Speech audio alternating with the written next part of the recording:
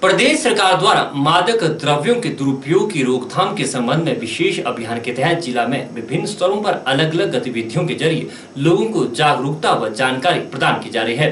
जिला प्रशासन व विभिन्न विभागों के अधिकारी शैक्षणिक संस्थानों में जाकर विद्यार्थियों को परामर्श सत्रों के माध्यम से नशे के दुष्प्रभावों के प्रति जानकारी देकर संवाद कायम कर रहे हैं।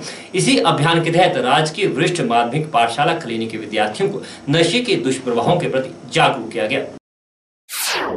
प्रदेश की जयराम सरकार द्वारा हिमाचल को नशा मुक्त बनाने के लिए प्रदेश भर में 15 नवंबर से 15 दिसंबर तक नशा उन्मूलन अभियान चलाया जा रहा है, जिसके तहत पुलिस थाना न्यू शिमला द्वारा government senior secondary school Khalini में भाँग उखाड़ो अभियान चलाया गया। जिसमें विद्यार्थियों द्वारा विद्यालय परिसर के आसपास लगे भाँग के पौधों को उखाड़ा गया। वहीं इस दौरान पुलिस प्रशासन द्वारा विद्यार्थियों को नशा क्या है, यह किस तरह से व्यक्ति के शरीर को खोखला कर देता है और नशे से बचाव किस तरह से किया जाता है, यह वृत्त चित्र के माध्यम से दिखाया गया। थाना न्यू शिमला प्रभारी लक्ष्मण कुमार ने बताया कि एक महीने तक चलने वाले इस अभियान के तहत विद्यार्थियों को नशे के दुष्प्रभावों से अवगत करवाया गया।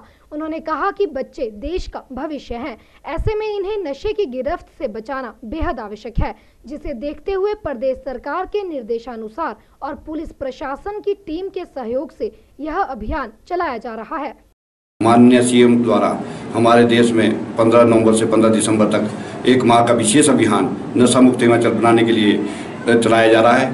इसी के क्रम में हम हर स्कूलों में हर क्या नाम स्थानों में जा, जाके लोगों को जा, नशे के दुष्प्रभाव के बारे में जागरूक करने के लिए जा रहे हैं। इसी क्रम में आज हमने खरीद स्कूल का दौर रखा था जहाँ हम आए हैं जहाँ हमने बच्चों को डॉक्यूमेंट्री के माध्यम से अपने भाषणों के माध्यम से और स्लाइड के माध्यम से बच्चों को अवेयर किया।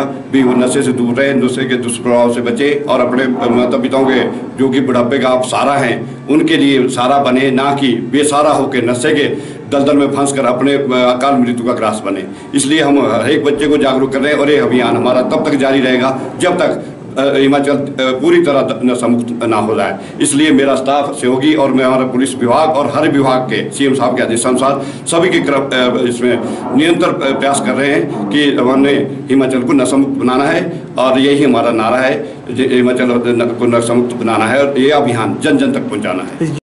वहीं विद्यालय की प्रधानाचार्य सीमा नेगी ने भी पुलिस प्रशासन की टीम का आभार जताया। पंद्रह नवंबर से ये पूरा महीना मनाया जा रहा है और हमें कैलेंडर जारी हुआ है एडमिनिस्ट्रेशन की तरफ़ से। तो उस कैलेंडर के अकॉर्डिंग हम डेली एक्टिविटीज़ करा रहे हैं बच्चों के बीच में। तो उसी के संदर्भ में आज पुलिस विभाग हमारे स्कूल में आए थे और उन्होंने ड्रग एब्यूज़ और अल्कोहलिज्म से बचने के लिए बच्चों को एक बड़ी ही वैल्यूएबल और बड़ी जानकारी प्रद एक डॉक्यूमेंट्री दिखाई है।